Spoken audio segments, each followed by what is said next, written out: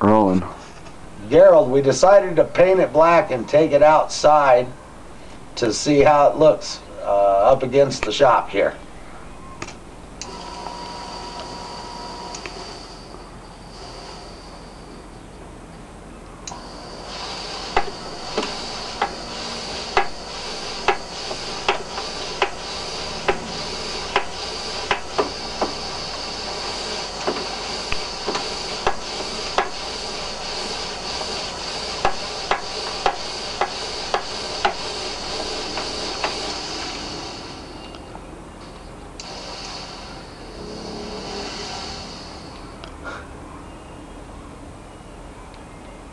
Hope between the two pictures you can see how it's going to look.